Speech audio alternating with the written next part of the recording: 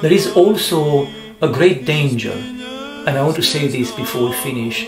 There is a great demonic danger that one should found one's faith on the foundation of scientifical proofs or scientifical truths.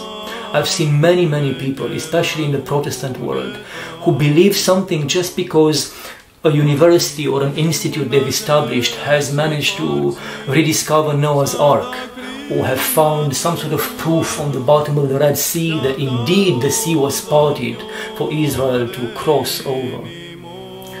Even if these proofs are real, you should not found your faith on words coming from science because that's not faith anymore, dear one. Faith is to walk on water, like St. Peter.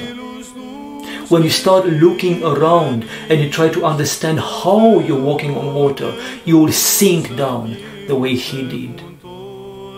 Faith is not based on truths uttered by human, earthly, dying lips.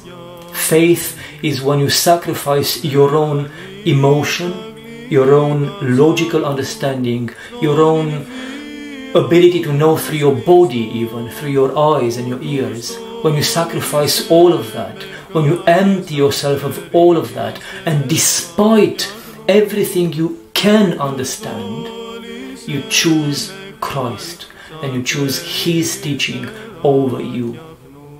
That's not lying, because as I was saying in the beginning, you still acknowledge in your prayer to Christ that this is something with which you struggle. It's just the beginning.